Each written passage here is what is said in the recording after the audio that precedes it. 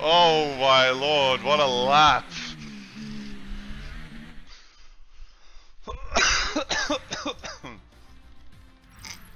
With qualifying complete, all that remains now is the main event. We'll be live and uninterrupted Wow. for the Grand Prix tomorrow, so make sure you join us then.